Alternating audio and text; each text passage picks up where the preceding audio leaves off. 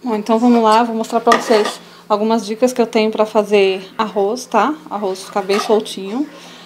Primeira dica que eu dou, vocês têm que usar uma panela que tenha tampa que encaixe perfeitamente, tá? Tem que encaixar direitinho. É, não tem, não vou dar medida certinho pra você, deixa eu baixar um pouquinho aqui. Eu não vou dar medida porque eu acho que a coisa mais errada que a gente faz é fazer por medida, porque a gente fica preso aquela, aquela única quantidade. Então vamos lá, vou fazer tudo, tudo a olho mesmo para vocês verem. Eu aprendi com o tempo, com a prática, foi que eu aprendi.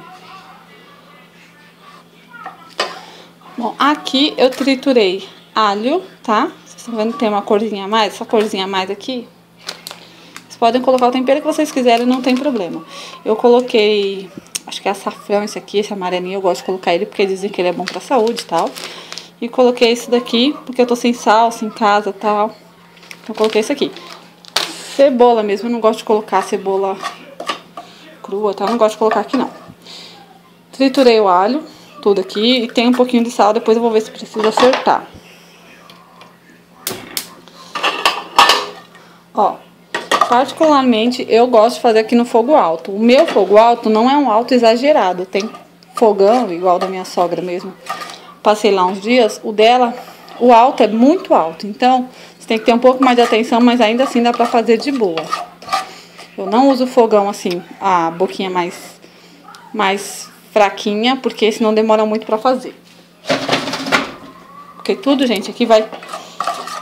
Uma das maiores dicas vai, vocês vão ver que é com a temperatura do fogo tal. Você tem que ficar sempre atenta pra conseguir fazer o arroz e não dar nenhum erro. Vou dar uma fritada aqui, aí eu já volto.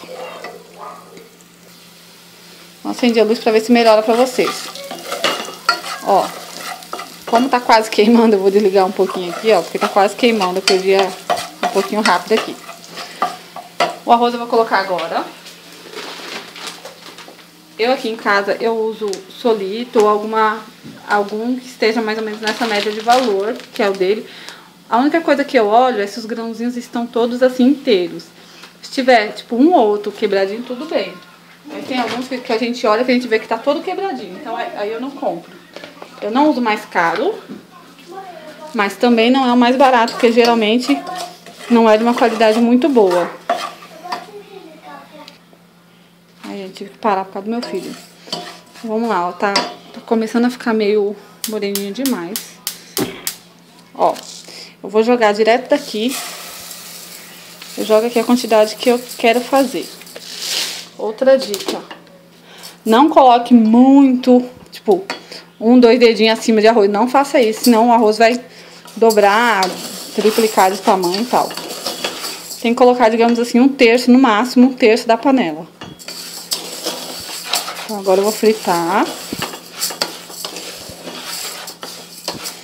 Eu não coloco muito óleo também, acho que deu pra vocês perceberem. Pra essa quantidade de arroz que eu coloquei, na verdade até que foi um pouquinho além. Mas aí quando tá um pouquinho além de óleo, que eu achei que eu coloquei um pouquinho a mais de óleo, aí eu dou uma fritadinha maior.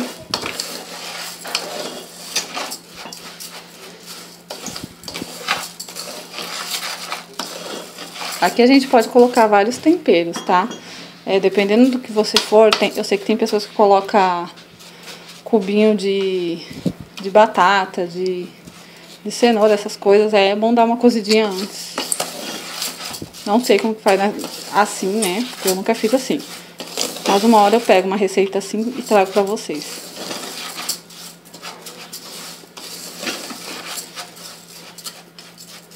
Eu vou aqui dar mais uma fritadinha e já volto aqui. Ainda tá no fogo alto, tá? Bom, agora... Agora pra colocar água, vocês fazem assim, ó. O meu fogo continua no alto. Eu vou falar muito assim de fogo pra vocês verem. Porque é o foco pra dar certo no arroz, tá bom? É, digamos assim, é, é a dica principal. É o aquecimento, é o fogo, tá? Então, olha, agora que vocês vão ajeitar aqui, ó, deixar meio que mais retinho, vou abaixar o fogo aqui, que agora eu vou colocar água. Vocês vão colocar aqui, ó, uns, uns três dedos de água, acima dessa, dessa base aqui de arroz. Então, já volto. Voltei. Tem bem aqui uns três dedos de água, tá? Acima do, daquela quantidade de arroz. E agora voltei a aumentar o, o fogo. Agora, dicas com fogo. O fogo precisa estar tá alto agora, para começar a fervura logo. Eu vou fechar aqui, vou tampar, vou esperar começar a ferver bem. E aí eu já volto aqui pra mostrar pra vocês. Só vou ver aqui a, o sabor do sal pra ver se precisa acertar. Vou colocar mais um pouquinho.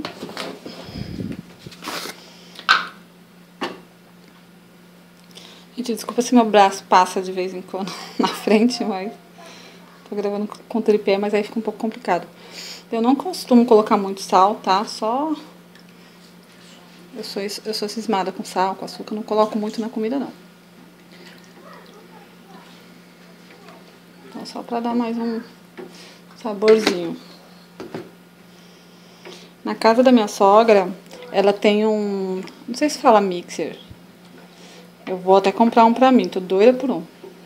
Que lá eu fazia uns temperos, eu colocava cebola, colocava alho, coentro, colocava cenoura também, é, cebolinha, colocava muitas coisas e triturava tudo ali dentro ainda deixava uns pedacinhos. Nossa, mas ficava tão bonito o arroz, fora que fica bem saboroso e é bem natural.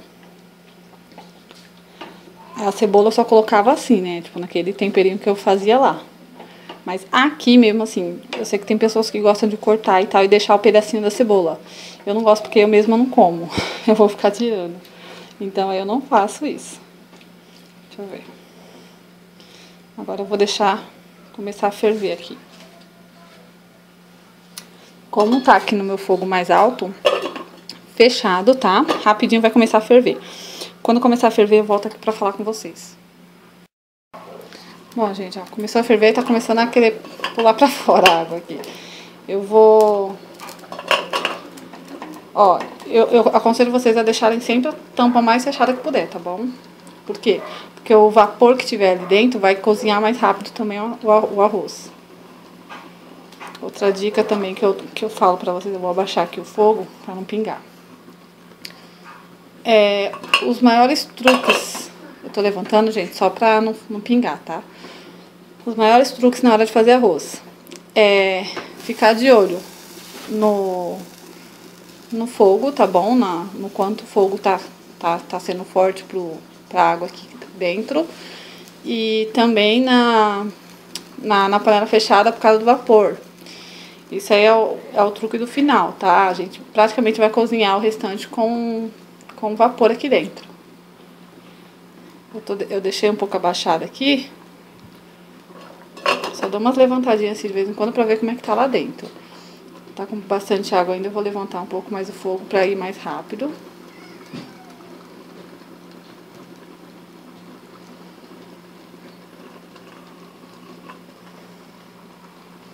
Eu já volto aqui. Agora aqui, gente, é atenção, tá? A gente pode ficar, ó, continua fechado, fica de olho no, no, no barulho da água, se você tá escutando que tá borbulhando demais. É porque tem muita água, né? Então aqui eu já tô escutando que tá, tá com pouca água, tá? Então vou só dar uma abertura aqui só pra ver rapidinho. Ó, vocês veem, né? Eu faço assim, eu quase não destampo mais a panela, só pra dar uma olhadinha. Então, ó, olhando aqui, gente, eu já vejo que tá um pouquinho cruado. O meu fogo não tá totalmente baixo, tá quase baixo, mas não totalmente baixo. Eu vou abaixar total agora. E vou deixar cozinhar agora mais devagar, porque tá encruado. Ainda não tá bem cozido. E agora eu vou ficar escutando aqui, vou ficar atenta. Agora eu vou ficar atenta no barulho aqui. É, a gente começa a escutar que aqui dos lados começa como se estivesse querendo queimar, sabe? É porque já tá sem água, sem água nenhuma. Então a gente começa a escutar uns barulhinhos como se já estivesse querendo queimar. Então, quando tiver assim, eu deixo tipo, mais um minutinho, mais ou menos, e desligo total.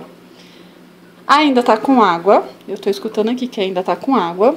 Tá no fogo total baixo, não vou destampar. E eu já volto aqui pra falar com vocês. Ó, Outra coisa que eu tenho pra falar pra vocês. Quando começa no finalzinho, vocês escutam que tá fervendo. No finalzinho, eu ainda eu fico atenta ainda no, nos barulhos e tal, se, tá, se já tá secando, tá? Ainda não tá secando. Tô escutando ainda que tem água, que tá borbulhando ainda por dentro. Continua no fogo baixo, continua tampado. Não sei se vocês estão percebendo, ó, que tá subindo vapor. Esse vapor é porque já tá quase sem água, tá? Então daqui a pouco eu já sei que eu já vou desligar. Aí eu vou deixar ainda do mesmo jeito que tá, não vou abrir, já já volto aqui. Voltei aqui, gente. Uma coisa que vocês deve, já devem estar reparando é que é muito detalhezinho, são muitas sequências, mas que deixa o arroz perfeitinho. Vocês não vão ter erro. Isso assim, com o tempo vira prática, a gente não tem que ficar muito, ah, é isso, tem que fazer isso. Vira prática. Eu tô com garfo aqui porque agora eu vou dar uma olhada. Ainda não tô ouvindo os barulhinhos que eu falei, que fica aqui dos lados, como se estivesse queimando, tá? Grudando. Fritando, na verdade. É os barulhinhos como se estivesse fritando, é quando já tá quase seco de água, praticamente seco de água. Eu vou aqui dar uma abertura bem rápida, vocês vão ver que é tudo bem rápido. Só pra olhar com o garfo, sentir com o garfo se já tá, já tá cozido. Ó. Tá vendo? Pra mim aqui, já tá, não tá mais encruado, eu vou, de, eu vou, deixa eu ver que tá com água. Só pra confirmar. Tá bem pouquinho curado, tá? Eu vou deixar aqui mais um minutinho, mais ou menos, só pra terminar de secar to total essa água. E aí eu desligo aqui. Então, daqui a pouco eu volto aqui pra mostrar pra vocês. Bom, gente, continuo aqui. Então, reparem bem assim no, no como que eu fiz. No início, quando tá com bastante água, eu deixo no fogo alto até secar, secar um pouquinho, tá? Ficar bem pouquinho água em cima. E aí depois eu deixo no fogo médio até praticamente ficar sem água. Depois fogo baixo, no finalzinho só fogo baixo até o final. Agora, é, eu já vou desligar, tá bom? Não vou nem abrir, eu só vou desligar aqui agora. E vou deixar, deixa eu só dar uma olhada aqui, ó. Tá bem leve, encruado, ó, vocês vê, ó, que tá bem soltinho. Mas tá, não tá encruado, tá al dente, sabe?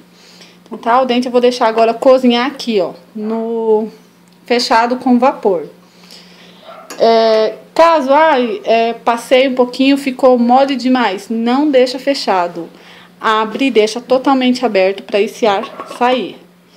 Aqui eu vou deixar agora totalmente fechado para esse ar cozinhar mais, o restante que tá precisando cozinhar. É, daqui uns dois minutos eu vou voltar, vou olhar aqui, aí eu volto para falar com vocês. Gente, passou uns dois minutos aqui fechado, eu não mexi. Agora eu vou abrir pra ver como é que tá.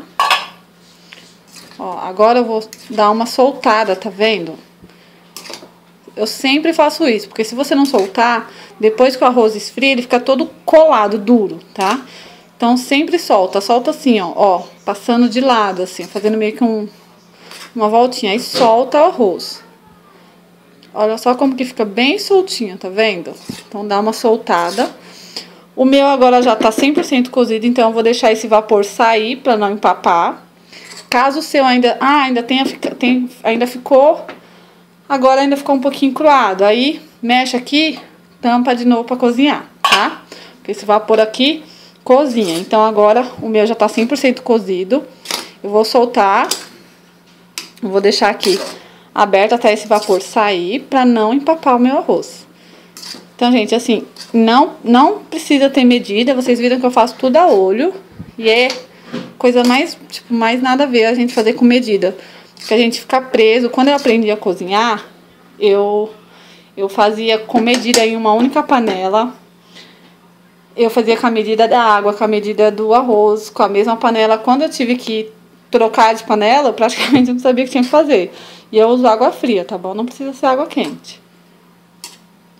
Ó. Aqui eu vou deixar esse vapor sair, tá prontinho. Prontinho para comer e soltinho, tá bom? Então, eu espero muito que vocês tenham gostado. Eu vou trazer mais dicas assim, tá? De receita também, mais, mais truquezinhos assim. dicas, na verdade, né? Pra vocês aqui no canal. E quem gosta, assim, de dicas assim, quiser mais algum, algum assunto específico de cozinha, que eu acho que eu gosto de fazer bastante coisa em casa, assim, bastante comida.